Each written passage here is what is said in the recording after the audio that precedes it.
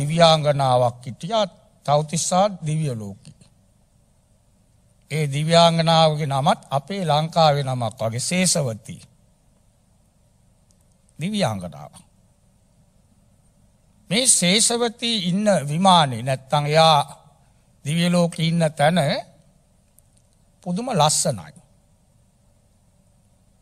ති මේ අනි දෙයෝ ඇවිලා මෙයාගෙන් ප්‍රශ්න කරනවා. බලන්ඩ කොයාගේ මාලිගාව වටේටම තියෙන විල් සුයිමෙන් පුල්වාගේ දිවියලෝක. ඒ විල්වල පිපෙන්ඩ තියෙන සියලුම මල් පිපිලා. දිවලෝක ලේසිය මල් පරවෙන්න. දැන් අපේ රටේනෙමේ ද පිට රටකටේම ගයුතු සීත රටවල් වල මාස පහක් අයක් තියාගන්නවා ඕකිත් මල් පරවෙන්න.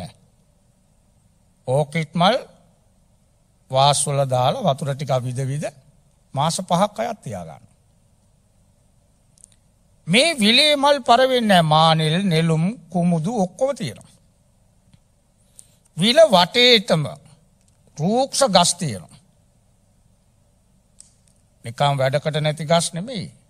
නාගස් සපු ගස් ඒවත් තියෙනවා. ඒ ගස්වලත් වැල් ගීලා ලස්සනට මල් වැල්. විලේ වතුර නිල්ම නිල් පාටයි. පතුල පේනවා. හොඳ සිසි ලක්තිය. මැනික් කැටිවාගේ කියන්නේ. විල නිසා විමානය බැබලෙනවා විමාන නිසා විල බැබලෙනවා මේ දෙක නිසා සේසවතයේ දිවියාංගනාව ඊට වඩා බැබලෙන. ආයුෂය වරණය සැපය බලය ප්‍රඥාව ඉරිදි බව වක්කලාත දික්කරනකොට යට යන්න පුළුවන් කොය හරි. දැ මේ ඉදල ඇමරිකාවට අපි කූල් කරන්න. මේ ඉදල ඇමරිකාවට තියනොද අපේ ගෙදනල් වෛරයනොද වෛරයන්න නමුත් අපේ සද්ධ යනවා. ඒනම් පින්කරපු කෙනාට. තින් අර ඇමරිකාවට කතා කරන්න අපිට දැම් මේ කේබල් වූනත් නෑ වයරූනත් නෑ මැච්චක බලන්න සජීවි එතොට පිට්ටනියදල ගෙදරට වෛරයනොද කේබල්ය නොද නෑ කරන්ට එක තරංග මේ දිව්‍යාංගනාවගේ ලස්සන බලන්නට දෙයෝ පෝලිමට එනවා. ඇයි මේ අලුතයින් ඉපදුනේ. එයා ඉප දෙනකොටම සැප ඔක්කොම ලැබිලා. මනුස්සලෝකෙත් ඉන්නවා. කෝටිපති ගෙවල්වල ඉපදෙන ළමයි ඒලාම ඉපදනකොට ඔක්කොම තියෙනවානේ. කෝටිපතිව ඉන්න. ලෝකෙම මා සල්ලිකාරයන්ගෙවල් ළමය ඉපදෙනකොට ඒසීද ඔක්කොම තියෙනවා. ළමයාගේ බරත් හොඳයි පාටත් හොඳයි සමාර ළමයින්න කටු ගාල ඉපදිච්ච ගමම්ම අයිශූ එකට දාලා ඉන්ඩ තැනකුත් නෑ පෙන්න්නන්නේ ටීවිවලේම කොස් ඇටකක් අයින්නේ ළමයි සමාර ළම ඉපදිච්ච ඉඳලා සුපිරියට සැප රත්තරම් බඩු දාලා හොඳ මරෙදි තම යන්දන්නේ. හොඳ මේවායි බාලරෙදි නෑ චීත්තේ මඳින්න සුපිරි ඒවා අන්දන්නේ. ඒවාගේ මේ දිව්‍යාංගනාවට ඔක්කොම ලස්සන්ට ලැබිලා. ඇඳුම් ඇඳුම ඒවා කිලිටි වෙන්න. දිවියලෝක ඉපදුනාම එක දවස ඉපදුනාන එදා ඉඳල දිවියලෝකින් චුත වෙනකම් එක ඇඳුමයි. අයි ඇඳුන්න ඇයි දෙයියන්ගේ පින ඉවර වෙනකොට ඇඳුම් කිලිටි වෙනවා. ඒකෙන් තමයි දෙයෝ තේරුම් ගන්නේ අපි චුත්තවෙන්ඩ කිට්ටුයි. ඇඳුම් දැඟඉතින් මේ ලංකාවෙත් තින්නේ කිලිටිකට ඇඳගෙන උන් චුත්තවෙන්ඩ කිට්ටුවයිට ඇඳුම් වලින් කියතැගෙන චුත්තවෙන්ඩ කිට්ටු. බුදුවාන්දුරු කියන්න එකත්. චුත්තවෙන්ඩ කිට්ටුනාම ඇඳුම් කිල්ටි වෙනවා. මල් පර වෙනවා. දිවිය ලෝකෙ තියෙන ආසන එපා වෙනවා. දිවියලෝකෙ තියෙන අමුෘර්තය කණ්ඩ එපා වෙන වමන යනවා. එතකොට දෙයෝ දන්නවා අපි ද යන්ඩයි යන්න. චුත්ත වෙනවා කැන එකට. ඒ නිසා මේ අනි දෙයෝ ඇවිල ප්‍රශ්නයක් කන මෙච්චර සැප ලැබෙන්ඩ. ඔයා මනුස්සලෝකෙදි කළ පින මොකක්ද. ශේෂවතී දිව්‍යාංගනාවර විල මැද්ද ඉඳගෙන. එයා කරපු පින කියනවා. මම මනුස්සලෝක ඉන්නකොට මං ඉපදිලයිටිය රජගානුවර. රජගානුවර තියෙනවා ගමක් නාලක ගම. ගමේ නම නාලක. නාලක ගමේ තමයි නාලන්දා විශ්වවිද්‍යාලි තිබුණ. ගිනි තිබ්බන් නාලන්දා කියන ඒ කාලෙ තිබිච්ච මහා පුදුම විශ්වවිද්‍යාල. නාලන්දාව කුලපති මහා බුද්ධිමත් කෙනෙක්. කුලපති උඩ ඉඳල බලාගෙන ඉන්නවලු. ශිෂ්‍යයෙක් එනවා ආම්දුරු නමක්. එයත් ලේසි නෑ. ආම්දුරුව කුලපති ආම්දුරුව ගෝලයාව දැක්ක ගමන් තේරුම් ගත්තා එන්නේ ලේසු පාසු ඔළුවක් නෙමෙයි. නාලන්දාවට දෙන්නේ. ඒ නිසා මිනිියකුට කිව්වා කට කපලම වතුර බේසමක් අරගෙන පලයංකුවර ආන්දුල්ලඟට. දැම ආදුර එන්නකොට අරමිනිිය වතුර එක ගෙනනිච්චා. ආන්දුරුවන්ට ප්‍රශ්නයක්. අරාන්දුරු උඩින්දර බලඟන්න. මේක බොන්්ඩත් බෑ. කකුලෝ දණ්ඩත් බෑ. කට කපල තියෙනවා. නාණ්ඩත් බෑ. ඇයි මේක එව්වී. ඔන්න පළවෙනි බුද්ධි පරීක්ෂණය. විශ්වවිද්‍යාලට ගණ්ඩ කරපු බුද්ධි පරීක්ෂණය. ආම්දුරුව මොකද කළ ආම්දුරගේ මල්ලෙ තිබුණ ඉදිකට අට පිරිකර තියන නිදිකට්ට. ආම්දුරු ඉදිකට්ට අරගෙන අර වතුරකට දැම්ම. පස් දැන් අර මිනිට ප්‍රශ්නයක් මොකක්ද මේ උනේ වතුර එකක් ගෙනාව මෙච්චලොක වතුරක ඉදිකට්ටක් දැම්මට. කුලපති ආන්දුර එන්ඩෙකු වගෝලයට. මොකක්ද ඔය කළේ. නාලන්දා කියන්නේ සාගරේවාගේ. ඥාන සාගර දැනුම් තියෙන තැනක්. මම මේ ඉදිකට්ටවාගේ මං ආවේ මේ සාගරයේ පතුලට කිමිදලා ඉගෙන ගන්න. ඒකයි ඉදි කට්ට දැන් කෝමද බුද්ධි පරීක්ෂණ. ඒ නාලන්දා ගම නාලන්දා කියලා ගමක් තියෙනවා ඒ ගමේ තමයි මම ඉපදුනේ. නාලන්දා කියන ගම ප්‍රසිද්ධ වුණේ සැරියුත් ආන්දුරුවන්ගේ. සැරියුත් ආන්දුරු උපන් ගම. සැරියුත් ආන්දුරන්ගේ පවුලෙහිටිය ඔක්කොම අත් දෙනෙක්. පිරිමි සහෝදරයෝ අතරයි ගෑනු සහෝදරියෝ තුනයි. අත් දෙනාම රහත් වුණා. අත් දෙනාම පැවිදි වුණා. රාතන් වහන්සේලා. එක්කෙනෙක් උපසේන ඊළඟට උපතිස්ස උපතිස්ස කැන සැරියුත්තාන්දුරු. ඊළඟට චුන්ද අර පිරිත් පොතේ තියෙන චුන්ද බොජ්ජංග කියලා ඒ ආන්දු තමයි කිව්වේ. බුදු ආන්දුරු ලෙඩ වෙලා. බුදු ආන්දුරුවන්ග බලන්ඩ කියලා චුන්දාන්දුරු වාඩි වෙලා බුදු ආන්දුරුවන්ට පිරිත් කිව්වා. සෝපත් වෙන්න. ඒ සැරියුත්තාන්දුරන්ගේ සහෝදරයෙක්. ඊළඟට හිටිය නංගිලා තුන් දෙනෙක්. ලොකු නංගි චාලා දෙවනි නංගි උපචාලා තුන්වෙනි නංගි සීසුපචාලා අතරවෙනි අටිටියා පුතෙක් සහෝදරයෙක්. එයාගෙනම රේවත. දැන් අර අය දෙනාම පැවිදි වුණාට පස්සේ සාරි තමයි මේ අය ළමයින්ගේ අම්මා. සාරි. සාරි කියන අම්මගේ පුතා නිසා තමයි සාරි පුත්ත. සාරිගේ පුතා. බුදු ආන්දුරුවන්ගේ දකුණු අත. ධර්ම ශේනාධිපති. ලේසු පාසු කෙනෙක් නෙමෙයි. අන්න ඒ ගමේ තමයි මං ඉපතුනේ. ඒ අන්තිම බාලමල්ලි රේවත මනමාල ඇඳුම පිටින් පැනල ගිය. ඇයි අම්ම බයවුනානම ඔක්කෝ මානවුණු ගේපාලු වෙනවාන. කුලේ ගෙනියන්න එකෙක් නෑන. එස පොඩි වයසම අවුරු දාශේවාගේ වයසම කොල්ලව බඳල දුන්නා. දැන් මනමාල ඇඳුම ඇඳලා කරත්තෙන යන්නේ යන ගමන් කැලේ යන ගමන් කිව්වා අම්මට මං පොඩ්ඩක් කැලිය ඇතුට ගීගෙන්න්න ති සරී රෝමනා තියනනේ අම්ම ආංකිව්වා රජ ඇඳුම් ඇතන් යන්නේ. කැලේ මැද්දෙන් පැලලතිව අයියලකට මාන කරගත්ත. ඉති අම්මට කෝ මැද්ද එක පැත්තිකින් නෑයෝ බයිනවා අර කෙල්ල ඉවරයි. අම්මට ආමුදුරු පෙන්නන්න බෑ. ආමුදුගුල්ලු යනවන්න සැජුත්තන්ගේ අම්ම පස් අවුරක් කරම මේ විසික් කර පොඩි පොඩි උන්නාන්සලක්ම ටොකු ගාන. ඇයි මගේ ළමයි අත් දෙනාම මට නැති කළා. වැදුවේ ගෙදර තියාගන්න. ති වයසට යනකොට ආසයිනේ ලේලිලා එක ගාගණ්ඩ කොන්්ඩෙන් අල්ලගෙන ගා කණ්ඩාසයි මොනුබුරු මිනිබිරියන්ගෙන් පයින් කණ්ඩාසයි උංග වඩාගෙන අන්ඩාසයි එක වය ගෙදර මිනිස් යාසාවල්. ඒ මොකක්වත් මේ සල්ලිකාර ගෙදරට නෑ දැන්. ඒ නිසා ආම්දුරුව එක්ක ගොඩාක් තරයින් ඉන්නේ.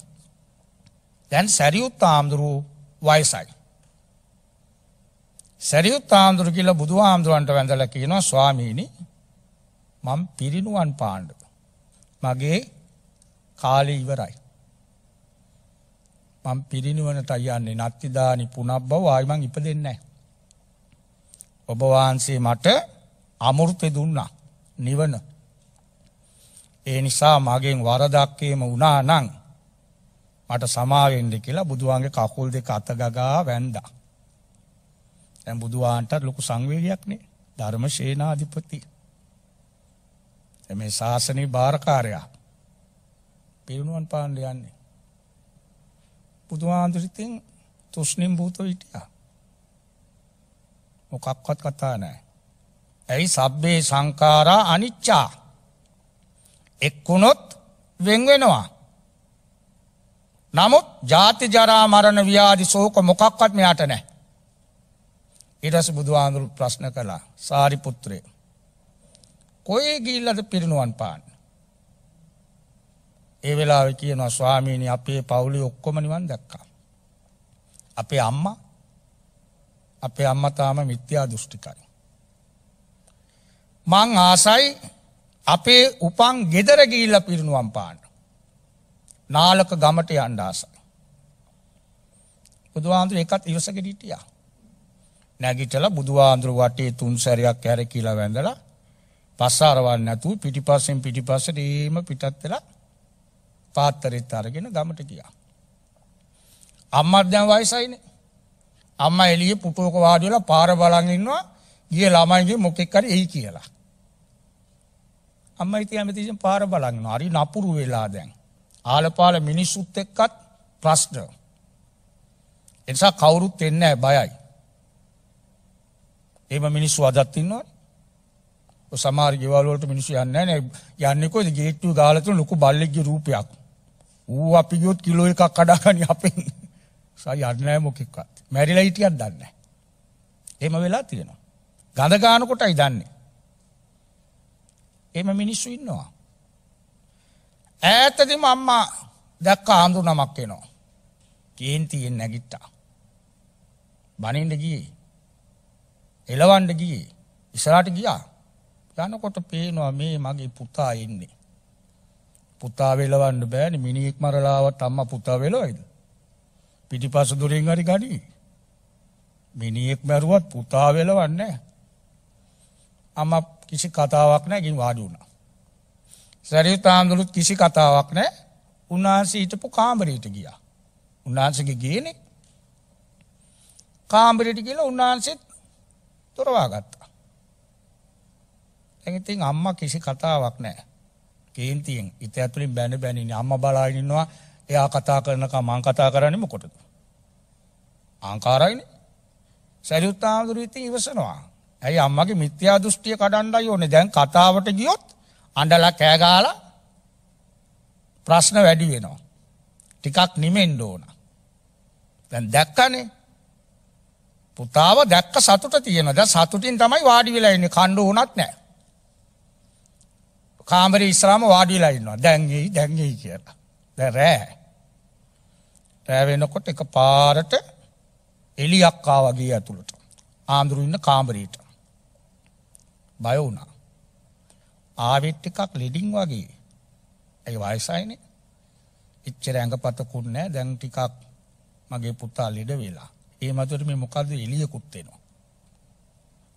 ආයිවසගෙන බලා හිටිය. ඇති කල්පනා කනවා ළමයි හිටියන මේ වෙලාව මොනුබුරු මිනිබිරිියෝ නලවන්ඩ ඕන? උයන්ඩ ඕන? මොකක්කන්න ෑන කියල ඔය කල්පනා කරනවා. ආයි මධ්‍යම රාත්‍රී වෙනකොට ආයියාවා ඊට වඩා ලොකු ඉඩියක්. අම්මට පේනවා. ඇවිල්ල ටික වෙලාවකින් අතුරු දං වෙනවා. අම්ම දැම් වෙවුලනවා. මොනවා වෙන්ඩ යනවා දන්න මගේ කොල්ලට. අම්මයි තන්න තම රාත් කතා අම්මට වැඩක් නෑ. මගේ පුතා අම්ම රාත්මනුවද කියලා දන්නෙත් නෑ මෝ බුද්ධන් සරණංවත් කියන්න. සැරි උත්තාන්දුරගේ අම්මා. එලිවෙන්ඩ ඔන්න මෙන්න තියද එලි අතරක්කාව. දැන්නම් අම්මට ඉවසන්න බෑ නැගිට්ටා. දුවනකින් ජනලින් බැලුවා. මොක මොනවර වෙලාද කියලන පුට්ටු මෑන්දේ වාඩි වැඩ ඉන්නවා ආන්දුරු. ඉක්මනින් උුණු අතුර අදලා කැඳ අදලා මොනෝනත් පුතාන ඉක්මනින් පිළිගන්න. පිළිගන්නල කතා කරන ගමන් ඇව්වා මේ ඊයරෑ මුලින්ම ලොකු එලි අක්කාවන්නේ. මොකක් දෙයාවේ. ඒ ආවේ අම්මේ සක්කර දේවේන්ද්‍රය. සක්කරය සක්කරයමකොට අපේ ගෙට ආවී. මාව බලල වැඳල යන්න. ඈ ඔබවාන්සෝ වැඳල යන්න ඊට පස්සර තව එලියක්කාවේ. ඒ ඔබ සරණ යන බ්‍රහ්ම රාජයා සාම්පති. මගේ බ්‍රහ්මයාව මං මෙච්චර කාලයක් බ්‍රහ්මයට පූජාවල් කලා එක දවසෝකත් මං මත් දැක්ක නෑඩ. මාව බලන්ඩාවෙන ඇඩ. තමුන් නාන්ස බලන්ඩාවට. ඔවු ඇයි වැඳලයන්ට වැඳලයන්ට එතොට එලි වෙනකොට අතර පැත්තෙන් ආවේ සතරවරන් දෙයෝ. එගොලොත් ආව මොකටද බැඳල යන්න. අම්ම දැන් එලියටිකින් වාඩිලා කල්පනා කරනවා. මගේ පුතා මංවදපු පුතාට සක්කරයත් වඳිනවා. බ්‍රහ්මයත් වඳිනවා. සතරවරන් දෙයොත් වඳිනවා. මගේ පුතා බොරු කියන්න. මං ඇස් දෙකට දැක්කනේ නං එලි එනවා.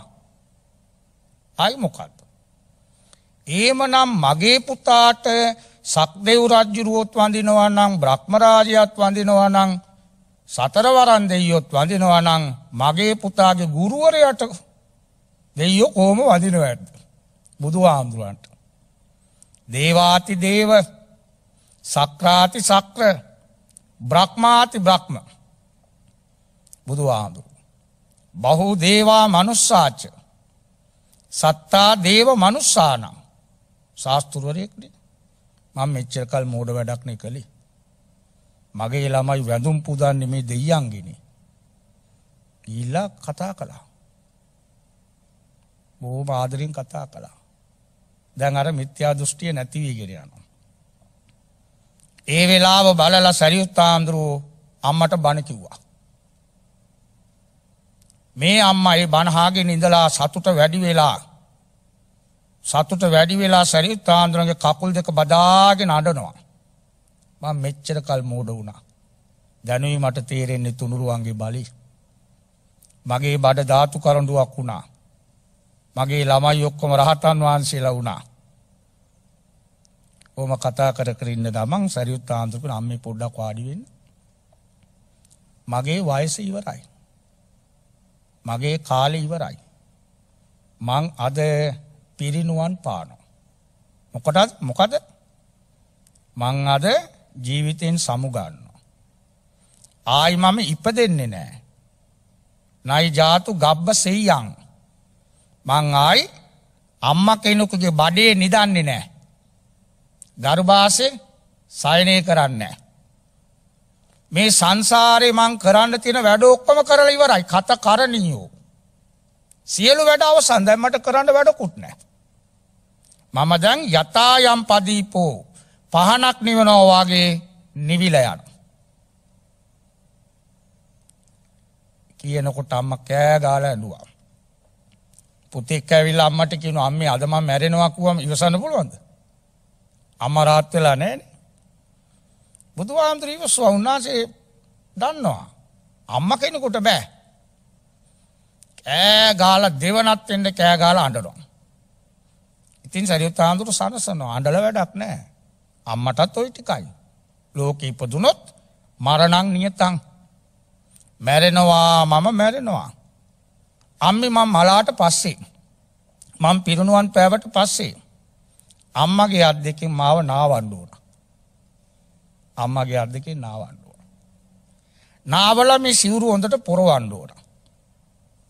මං මේ සෙල්ලං කරපු මිදුලෙ තියලා මාව ගිනි තියන්නුව. අම්ම කෙනුකි ගතින් කරන්න පුළුවන්ද. ඔන්න මිත්‍යා දෘෂ්ටිය කඩන ඇති. මාං පිච්චල ඉවර වෙනකොට උළඟක්කී. ඒ උළඟට දර අලු ඔක්කොම යාටයයි.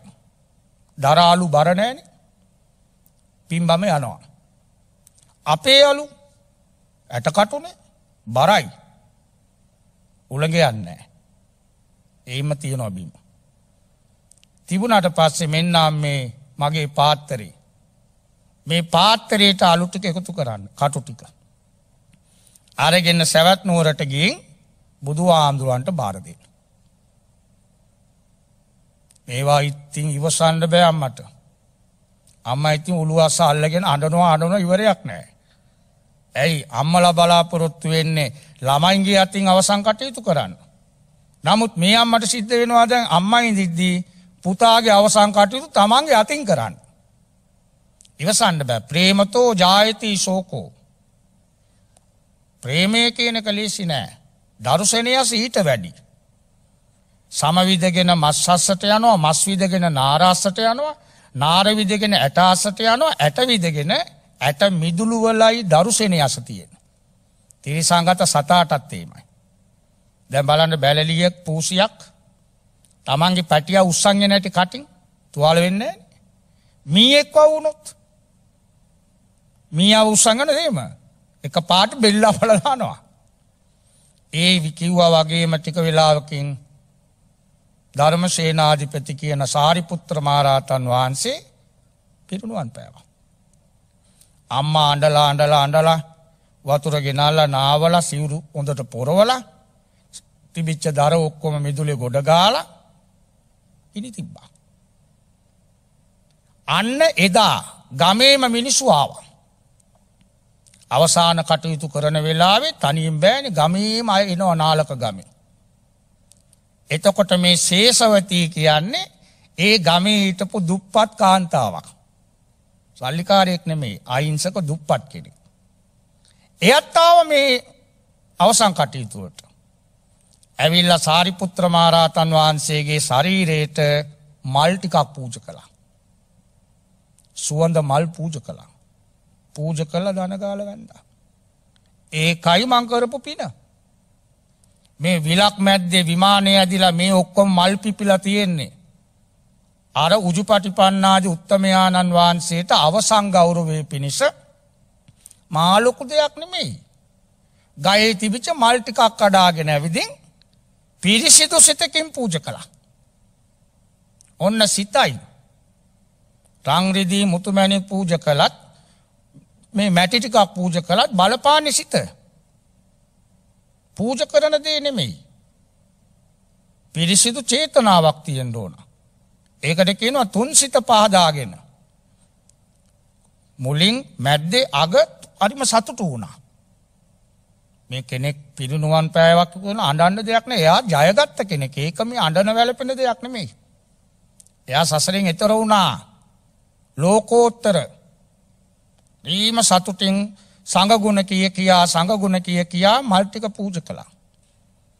ඒ ආත්මදිත් මම ධාර්මිකෝ ජීවත් වුණ ආයුෂ ලැබුණ කාගේ ගෞරවේ ලැබුණ මට මං හොඳ ජීවිතයක් ගත කළා. අනාචාරයදුනෙ නෑ හොඳ පවුලක් ස්වාමියයට ගරු කලා මම පති භක්තිය තිබුණ හොඳ කීකරු ළමයි මට ලැබුණ මගේ දෙමව්පියන්ට වගේම මගේ ස්වාමියගේ දෙමව්පියන්ට අම්මට තාත්තට වගේ ගරු කළා. සියලු දෙනාගේ සිද්ධිනා ගත්තා. ඒම ඉඳල තමයි මම මනුස්සලෝකෙදි මැරුණේ. පණගියා විතරයි. කායස්ස බේදා පරම්මරණ සුග්ගතින් කයෙන් මගේ උස්මටක ගියා විතරයි. මං මේ විලමැද්දේ උපත ලැබුවා. මට මේ ඉරිදි බල වරණවත් බව මයිසාක්‍ය බව මේ ඔක්කොම ලැබුණේ අර මල්ටිකක් පූජා කරපු එකේ විපාක. කතපුං්ඥෝ උබයත්ත මෝදතිකිව එකයි.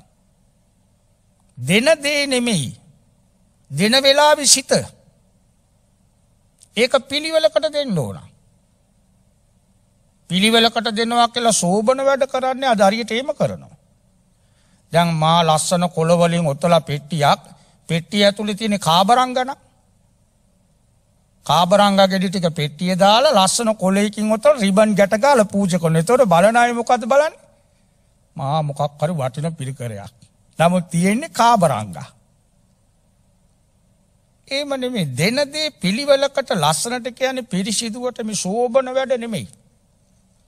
ඒවත් නාස්තියක්. තකොට මේ දුප්පත් කාන්තාව සාරිපුත්‍ර මාරාතන් වහන්සේගේ අවසං කටයුත්තටගේ මල්ටිකක් පූජ කළා.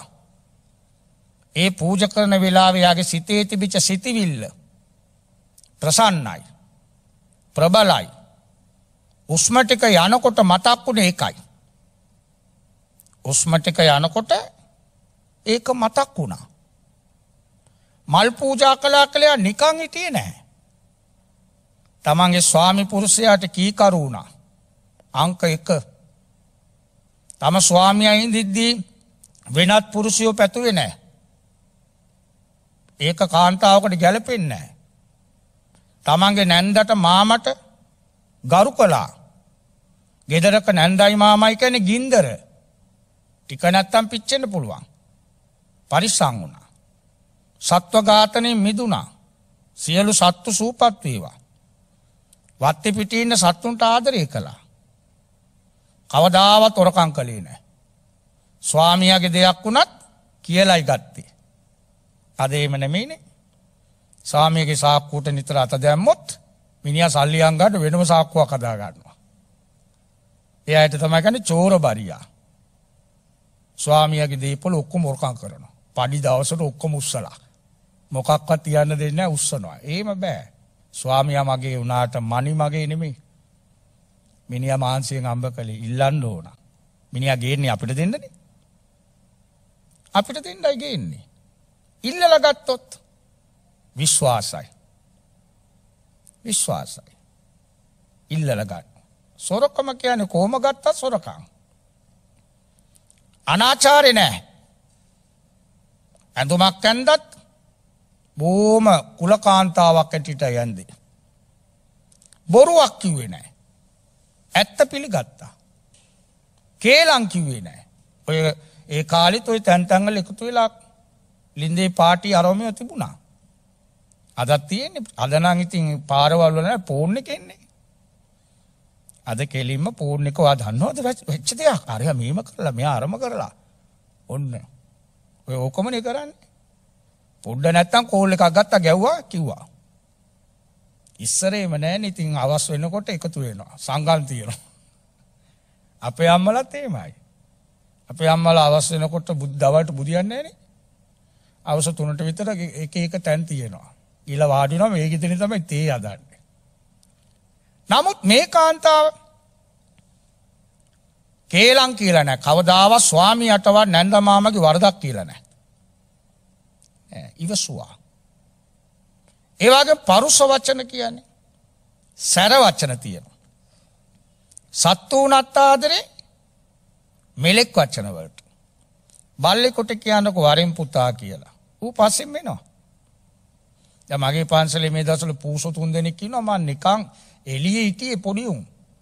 මං ඉතින් බන්ට කියලෙනකොට ආටින්ටිං වරෙන්ගාගෙන දැන් උන් ඔක්කොම පුටුඩ උන්න මගේ පුටුඩ හින්නේ කකුල මේම දිගෑරගෙන මිනිස්සු බුදියන වගේ එකෙක් මෙන මේම කරගෙන බුදී. ඕ පුදුමස මේ කනවයි බුදියනවයි. දැ මීයෝ නෑ. මන්නකන් ටින්ටිං වරෙන්කුව එච්චරයි. තුන් දෙනාමාව. දැ එකෙක් ඉන්නෙම මගේ කකුලරඟ. අනිත්තුන් දෙන්න බුදියන්නෙම පුටුවේ. තනියට හොඳයි. තමන් ගියොත් දූවගෙනනවා. තමන් ගීල බෑල ඇතුළට යනකොට මුඩ තට්ටුව පෙරලගෙන එන්නේ. පෙරලගෙන දූවගෙන ළඟට එනවා. ඒ සත්තු. ඒ නිසා දරුසෙනයසකැන හිට වඩා හරිම බෝම එක කියන්න තේරෙන්නේ. ඒකයි බුදුහාන්දුර ළඟට ඇවිල්ලා සුද්ධෝධන රජ්ජුරු ඉල්ලීමක් කළ ස්වාමීනි. අම්මගේ තාත්තගේ අවසර නැතුව ළමයෙක් මාන කරන්න එපා. තානං දෙමව්පියෝ මෙච්චර වියදම් කරලා අදලා වඩලා තියෙන තව තැනකට නිකන් මාන කරන්න නෙමෙයි.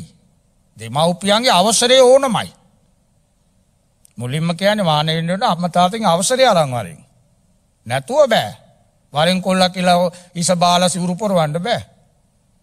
දෙමව්පියන්ගේ අවසරය තියෙනවා. එතකොට මෙන්න මේ කාන්තාව කේලං කියන්නේ නෑ කාටවත් ඉතරි දෙන්න හිත රිදෙන මිනිස්සු සමහර මිනිස්සු කතා කරනකොට අපිට එපා වෙනවා අපි නැගිටලා යන්නේ. එයා ඉන්නකොට අපි ඉන්න කැමති නෑ. ඇයි කට උද නෑ. ඊළඟට සම්පප්පලාප ඉස්වචන. මේ අපිට කොච්චර වැඩ තියෙනවද කරන්න? ඒ වැඩ ASCII මේ ටෙලිෆෝන් කර කර ඉන්න පුළුවන්ද? මට නම් කේන්ති යන්නෙම මේ ඕන්නේ නැතිව ආනකොට. මේ ටෙලිෆෝන් එකෙන් ආනවා මේ නෝන කෙනෙක් ටෙලිෆෝන් කරලා ආනවා ආඳුරු නිකන්ද ඉන්නේ මං කෝ ඇයි මේ මට පොඩි ධර්මක මේ ටෙලිෆෝන් එකකින් ආන්නේ. මං කෝ මොකද්ද? බැලී නම් සප්ත බොජ්ජංග පැය අතක් කියන්නේ පැය ටෙලිෆෝන් එකෙන්. මං කෝ ඕවා මේ ටෙලිෆෝන් එකෙන් කියනේවා නෙමෙයි. පොතක් අරගෙන ඕනනම් එන්න කිව්වා. කන වේලාව, නාන වේලාව ඒවවත් දන්නේ විවේකයක් ගන්න වෙලාව ඒව දන්නේ නැහැ. කඩාගෙන බිඳගෙන ඇවිල්ලා ඕන නැතිව කතා කරන දේශපාලනයයි. අපි ඒ වෙලාවේ ඉතිපිසෝ ගාතාව කිය කීටියොත් අපි ඒ වෙලාවේ මෛත්‍රී කර කර හිටියොත් උන් ඔක්කොම සූපත් වේවා උන්ට සම්මාදිට්ඨිය ඇති වේවා උන්ගේ ඔය මොලේ තියෙන අමාරු නැති වේවා කිය කී අපි සූ මෛත්‍රී කළොත් මෝඩකමට කරන්නේ පව් පව් අනේ සම්මාදිට්ඨිය ඇති වේවා කිය කී අපිට පුළුවන් නම් අපේ සිතට වසදා ගන්න නැතුව අපි කලබල වෙන්න ඕනේ නැහැ. කලබල වෙන්න ඕන නැහැ. මෙලවත් තියනවා විපාක පරලවත් තියනවා විපාක. සැරියුත් ආම්දුරුවන්ට කර්ම කර්මඵල දෙකම නැති වුණා. උන්වහන්සේ භවය නැති කළා. භවේ නැමති ගෙදර පරාල ඔක්කොම කඩල දැම්ම. උන්වහන්සේ නිය වුණා. ඒ නිවිච්ච උත්තමයන් වහන්සේ ළඟට ගිල්ල තමයි මල්ටික පූජ කළේ. අපිත් අද දානමාන දෙනකොට කියන්නේ සැරියුත් මොගලං ආදී මහරහතන් වහන්සේලාගේ පරපුරට මේ දානෙ පූජා කරනවා. අපි පූජ කරන්නේ සැරියුත් ආමුදුරන්ගෙන් පටන්. කියන්නේ මේමයි සැරියුත් මුගලන් ආනන්ද නන්ද රාහු ලෝමයි කියන්නේ. ඒ පරපුරටයි දෙන එකක් අපි දෙන්නේ. ඒක පිරිසිදු සිතින් දෙන්නන මා ලොකු දේවල් නෙමෙයි. මල් ටික ගෙනිච්චත් ගිලම් පස ගෙනිච්චොත් සැරියුත් මොගලම් පරම්පරාවට පූජ කරන්න ගෙනියනවා. ඒක තමන් මේම කට තියලා බීපු බීම බෝතලේටම ගිලම්පස වක් කරලා අරන් ගියාම හරිද? ප්ලාස්ටික් පරණ බෝතල් කොර ඉරිලා ඒ වල ගිලම්පස දාලා වල පූජා කරන්න පුළුවන්ද? ඒකයි අපිට හරියට ලැබෙන්නේ නැත්තේ. දැන් දානයක් වුණාම පන්සලට ගෙනියන වැංජම් ගෙනියන ඇති බලන්න. දැන් 15000ක් විතර වටින වැංජනයක් කජු. කජු 15000ක් විතර වටිනවා. දැන් ගණන් ඒ නෝන කජු ඇන්ජනය අදන්නංකව මංකුව එපා. නෑ නෑ මට පුළුවන් කියලා. මංකව එනම් කැමත්තක්. කටිනට. මානායකාල ඔක්කොම වැඩල දැන් අපි දානි දෙන්නේ. සැරියුත් මොකලම් පරම්පරාවට නිරමි දානි දෙන්නේ. මොකේද රුපියල් පාලොස්දා පටින වැංජනය අරංආාවි අරංආවේ තීන්ත බාල්දී පාලොස්දා දාලා තියෙන තීන්ත බාල්දියක. අර ධාරවල තීන්ත තිබුණොත් ඇයි බේසමක් අයයි වෙන භාජන නැද්ද ඇත්තට පාලොස්දාක් වැංජනයට දෙනවන ඒක ලස්සන වාජනයක ගේන්න පෑ බුද්ධ පූජාව බෙදන්න. ඇයි මෝඩයි. අපි කරනවා. ලක්ෂ ගණන් දෙනවා කෝටි ගණන් දෙනවා ඉල්ලනේ ඔක්කොම දෙනවා. දුන්නට ඒව පිළිවලකට දෙන්නේ නෑ. ඒ නිසා අපිට ඒක පිළිවෙලකට ලැබෙන්නේ නැහැ. මොකද දැන් 15000ක් විතර වටින ව්‍යංජනේ ඇදුවට ලෝභ නැතුව ගෙදර තියෙන බෝල් එකක් බාල්දියක් ගන්න ලෝභයි. ඒකනේ අර තීන්ත බාල්දියට දැම්මේ.